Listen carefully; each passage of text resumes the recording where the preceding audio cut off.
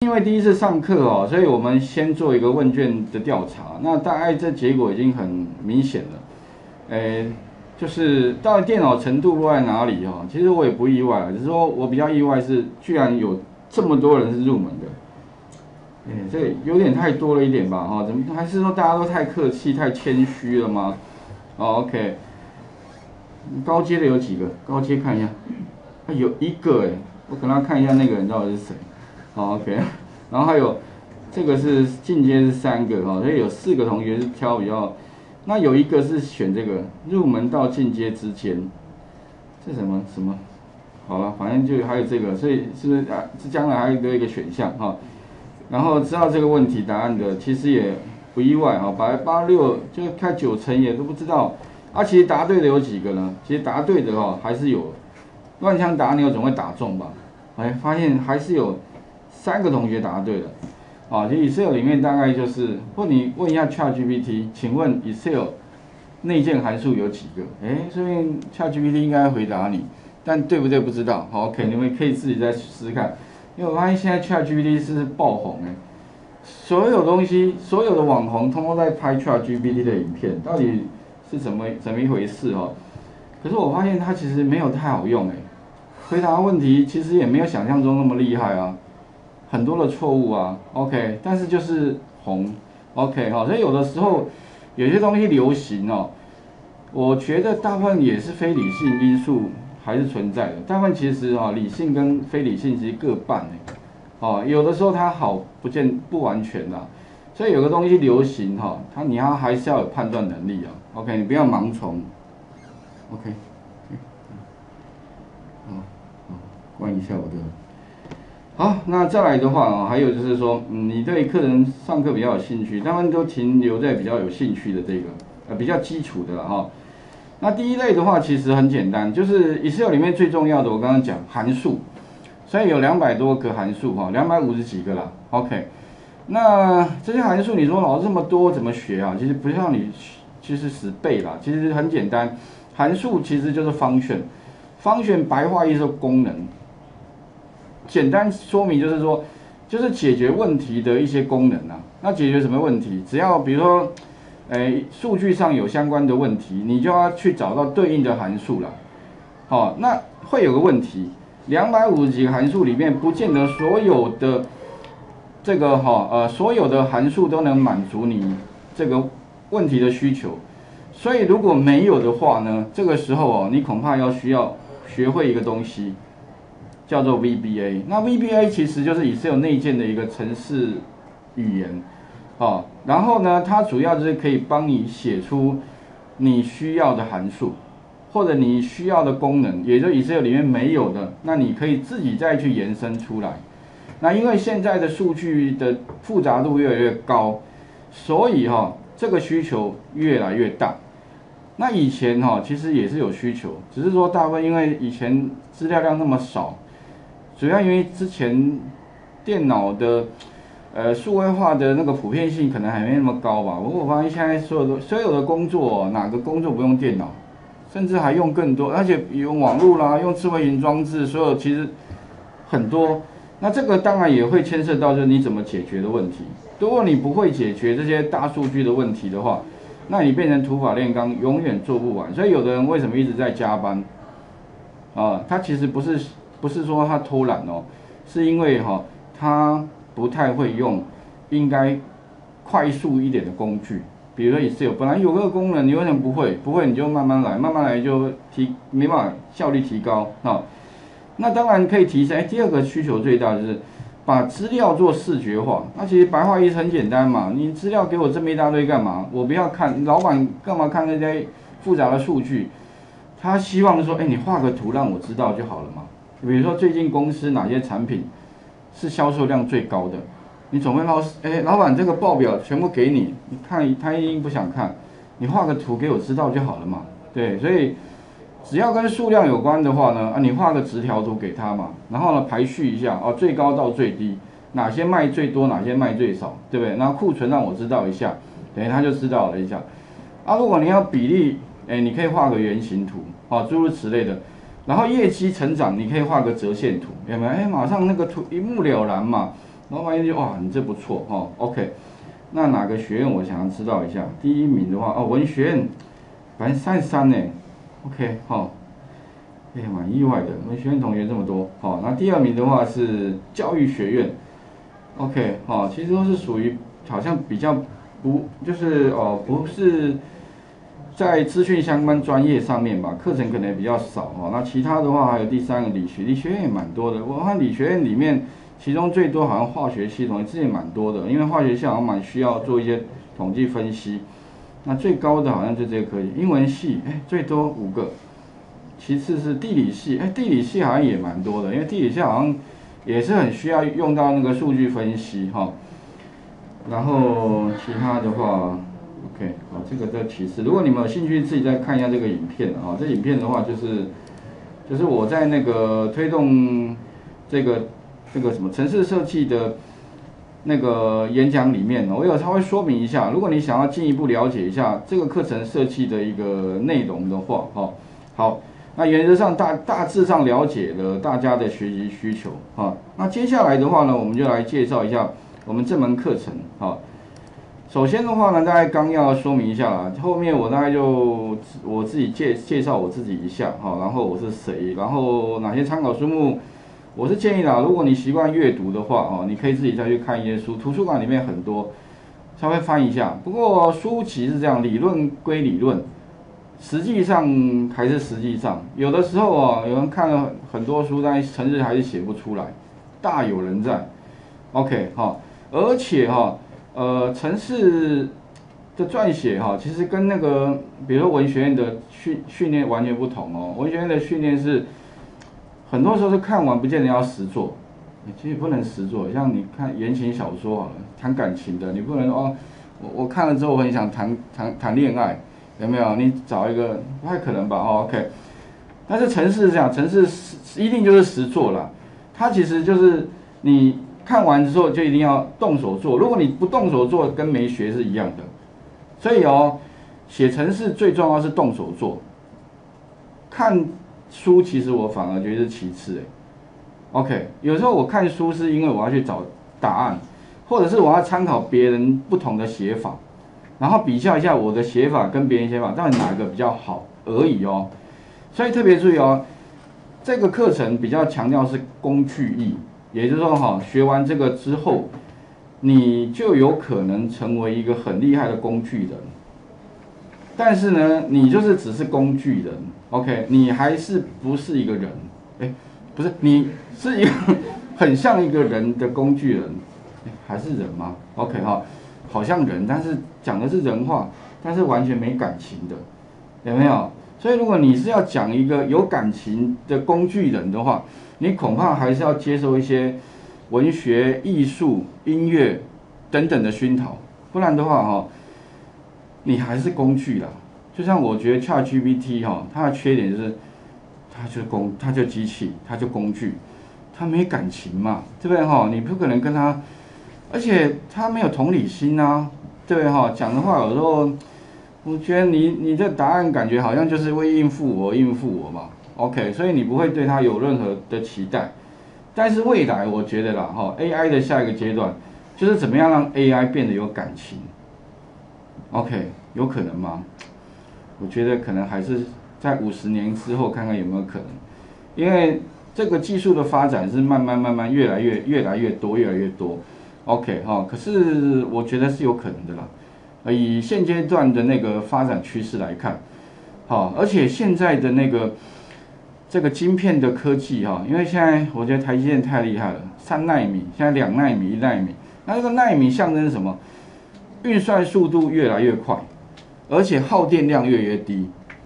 好，晶片这么小，本来这么小可以容纳一亿个一亿个电晶体，现在可以一兆个电电晶体，可以处理的速度可能十倍甚至百倍，但是用的力电哦却是更低，哇，简直是太厉害了。但是目前大概也只有台积电做得出来，所以我觉得这一点，那为什么只有台积电做得出来？其实你们可以想想看，其实还是要竞争的，这个可能跟台湾人的个性有点关系。如果台积电放在别的别的地方哦，能不能这么厉害？其实倒也是很难讲哈。OK，好，那接下来我们来看一下啊。那我稍微简介一下啊。那这课程的一个目标，其实哦，因为我这课程最早是在企业开这个课，好，所以针对那个企业的一些员工哦，跟他们规划，所以他们不用加班，光自然不用加班这件事，他们就很开心了。这课就上的很很认真了。OK 哈，然后工作可以更惬意。有没有？哎，惬意哦。为什么？人家一直在那边拼，从早上一直拼命拼到下班还没拼完，结果你两下要做完，然后你在那边喝咖啡、聊天、吃早餐，然后好像没事的人一样。但是你要交东西，哎，居然你交了出来，这什么什么鬼？对不对哈？其实最关键的地方就是他会用工具，你不会用，真的差太多了。OK 啊，因为我自己有切身经验。会跟不会哈，真的是十万八千里的事情。所以你要怎么样能够成为，哎，工作很惬意哈。那薪水当然，如果你要更多了，你当然就要更强大的这个专业技能了。哦，你要会的东西也就更多了。我觉得这个是绝对的，而且目前职场上面跟这个是有这个成正正关系哦，而且强烈正关系哦。也就如果将来你希望领高薪的话。你可能要会的专业技能哦，真的要非常多。那这些专业技能可能还要符合现在时代潮流，也就最夯的。那现在最夯的啦，我想 AI 应该不用讲了嘛，大数据分析应该也不用讲了。OK，还有什么一些云端运算啊，或者是什么像区块链啊，有没有？像等等的，反正很多，你们可以自己再了解一下哈。然后，如果将来你要升迁转职哦，其实也是一个筹码。那目标的话，至少你要学会我刚刚讲的函数，理解代替死背，不用不用死背。那有些程有些函数没有怎么办？你要会写，所以会写的话就需要用 VBA 啦。好，所以我们会从函数过渡到 VBA 哦。OK，那这这个阶段可能期中考之前会函数为主吧，也不会一下子讲太难，因为我发现大家程度其实没有，再来就要写点程式了，所以哦。可能还是会有一点点难度，所以如果你担心呢，城市设计对你来说是很困难的东西，请你花点时间准备。哦，网络上影片太多了，剩下就是你要愿意花时间，你绝对可以学得好的。再来，你未来哦应该会到职场上啊，我觉得这东西太好用了，会跟不会我看到的真的是十万八千里。有的人很惬意很轻松，有的人就是每天。在被老板骂，然后又做不出东西来，但是他又没有摸鱼，为什么？因为他在那边土法炼钢，那本来一个很简单的东西，函数就解决了，好了，哦，他不会，哦，所以当然这个可能要注意一下。那其他当然还有延伸性东西啦，不过后面越后面哈难度越高，甚至呢我还建议各位啊，如果有时间可以把什么 Python 啦，甚至是 R 啦，啊，可以把它学一下啦。当然如果没有，你就是。呃，至少知道一下哦，你不见得一定要很深入，但是至少你要知道这些东西嗯在做什么，能做什么，OK 哦，不见得一定要，好像这个这个很深入了哦，好，那这个是我的简历哈，我的名字吴清辉哈，然后 你 Google 吴老师教学的话，应该排在第一个吧？我发现这个关键字在。这个呃，那个第一个 page 里面哈，好像有六个是五个的吧？因为我有部落格，我有论坛，我有脸书专，我有反一堆哦，OK，很容易找到我。那因为我比较早之前很喜欢写部落格文章，我之前大概写了上千篇吧，很喜欢写，很喜欢笔耕。好 OK，好写作也是我的专长。OK，其实我还蛮喜欢写作的。我我可以坐下来一下，可以写个几万个字没问题，想到就写，想到就写，OK 哈。然后我的 YouTube 频道目前订阅人数大概最主，因为我不止一个呀，我在目前看起来是三万八吧，啊，不过跟各位讲，里面没有型男，不对？呃，不是那个那个画面里面的型男，也没有正妹，因为你看有一网红里面都有，然后也没有搞笑，好。甚至有些也没有字幕了哈，但是有三万八，我就觉得蛮厉害的。OK，好，然后我曾经有创业经验，也拿过一些奖项哈。那也在一些业界推广部啦开一些课程，拿了一些奖。OK，这当然知道一下就好，这不是重点哈。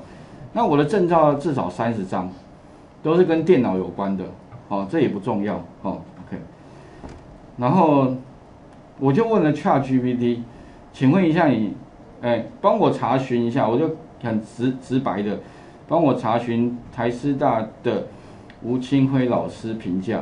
应该的评价吧，哈，OK，好，然后他就回答的让我很开心，OK，好，他说，以下针对呃，根据哎，这什么，run my 什么？professional 点，哎，这有这个网站我不知道哈，然后哦，是一个 综合评分高达五点零，哈，满分是五分，哎，OK，好，然后其中多数哇，真是。那我应该要 叫跳机评评论要高一点，因为他真有同理心呢。哦，刚我可以把它收回来。他其实哎，他这个里面，那这 Chat GPT 你会发现，他你每次问他的问题哦，即便是同一个问题，每次给你的答案也都不会一样，这点蛮厉害的。他可以怎么做出来的？OK，好，好，好。那 Google 就不一样，为什么 Google 现在大家提到 Google 就觉得，哎，Google 没有 ChatGPT，，因为 Google 每次得到的答案因为基本上都一样，而且它给你的东西不见得是你要的，它只是根据它要给你的排序，那那个排序怎么来的？其实就是演算法，所以其实相较之下，哈，哎，ChatGPT 其实很有可能慢慢的取代 Google 哦，就有点像是很久以前哦，雅虎被哎不，Go 叫雅虎被 Google 取代了，因为你刚之前还有个雅虎啦，而且现在应该还在啦，只是说没那么热门哈。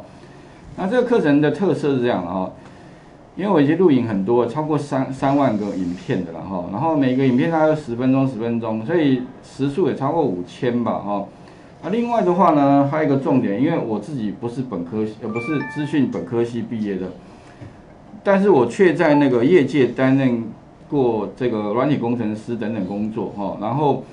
哎，比较能够从那个非资讯角科系的同学，而且跟各位讲哦，其实哈，我的本科系呢，就是刚刚那个选课同学最多那个文学院的，我是文学院毕业的，OK，我我的本科系是国文系，OK，好，而且我曾经担任过国文老师，所以我还蛮会，还蛮会讲的，OK 哈。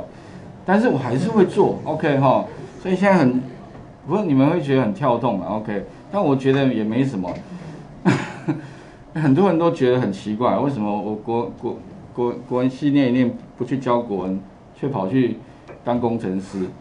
对，因为我可能因为我曾经教过国文课程嘛，还教过作文，其实我还教蛮久的，那因为我觉得好像每次，尤其那小朋友高中生吧，哈。只要听到你讲到国文正课，全部都昏昏欲睡哦。而且我觉得以后如果睡不着觉，是不是可以把国文老师上课的内容录下来，然后晚上睡放，哎，就马上睡着了。因为我发现每个人都趴下，然后我开始要讲一些笑话，就醒过来了。讲一些闲，只要不要是课程内容，啊，让我觉得有点灰心。哦，所以那时候其实就会想说，哎，那刚好那个年代哦，我们那年代刚好是科技起飞的年代。哎，那时候最夯，有时候科技新歌就是很羡慕，然后于是我就去开始学了我第二专长，就写程。哎，后来发现我好像对城市还颇有天分呢。我发现我，因为我可能有一个优点，就是我的记忆力超强，但不能说过目不忘，但是我可以把我看过的城市几乎都背起来，然后就啪啪啪啪啪啪打打打打打打。哎，我发现还蛮写程式好像没有想象中那么困难呢。哦。不过后来发现不是每个人都有这种能力，啊，于是我发现可以找自己最强项的哈，然后呢，你你去从事这样，你会很轻松，并且会有很多的回报，有没有？所以这当啊，我一教就教，哎，刚好，哎，不只会写啊，会上课，因为我有知就是教学相关背景，呃，我师范大学毕业，哦，哎，所以人家找我教这个呃城市设计课程，哎，刚刚好，OK 哈。所以就教一路上教了，那他我其实教的城市语言蛮多的哈。除了以这个 VBA 之外，我现在还有 Python 的课，现在其实蛮夯的哈。那与时俱进。那为什么要上课？因为听一次就懂不可能的，所以我会把它录下来，你们自己回去看啊。城城市有一个重点，就是一定要就一定要 perfect，就一定要完完全全是完美的，一个错字都不行哦。哪怕你多一个少一个都不行，所以怎么办呢？你一定要想办法让它不要出错。啊，哪个方法？反正后面我们会讲哦。然后再来的话呢，其实城市没有所谓的标准，每个人脑袋逻辑都不一样，所以呢，我可以允许你写出来的答案跟我不一样，但是执行结果要是一样的就 OK 了。好，所以特别注意哦，城市，我觉得，当然可能因为有些城市比较简单，会写将接近，可是有些比较复杂的，也许每个人写的不一样哦。然后其他就大概这样，我的东西会上传 YouTube。并且会贴到 Moodle，所以你们回去可以自己看哈。然后另外，我之前上课的影片哈，会把它放在那个，诶，就是论坛，你们可以自己在针对你自己可能不比较不熟悉的部分哦，再去先预习一下。那另外，我也把讲义跟程式码，程式码就是有些你怕你写错了，因为我刚刚讲过，一定要完美，不能有任何，所以呢，你可以拿我的程式参考，找一下错误，以后不要再犯就好了。OK，而且每个程式都我自己写的。我觉得这还蛮正，所有程式都我自己写的，没有一个地方是抄别人的。OK 哈，所以如果你要检验我的东西哦，应该没有问题。而且你会发现有些人因为看我的程式哦，会写的跟我蛮像的。因为我发现啊，写程式也有跟自己的 style，有没有？所以我有我自己的 style，就写程式是可以允许有你的 style，没有说你一定要跟别人要一样的写法。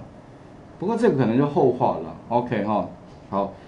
那，呃，其他的话，我是建议你们最好实做经验，因为你现在用也是有很多用不到嘛。我建议啦，你可以去实习，如果没有实习，你可以问一下你身边的父母或者你的兄长，问他一下，哎，现在业界用 Excel 怎么样？哦，哎，他应该会给你蛮多的的一些经验。他说啊，很重要。像上次有一个学员跟我讲说，他好像他妈妈跟跟他讲说。哎，你什么东西都可以学不会没关系，但 Excel 你绝对要给我学好，好，OK，好，那我们先下课休息一下好了，我们待会再接着来看，好哈。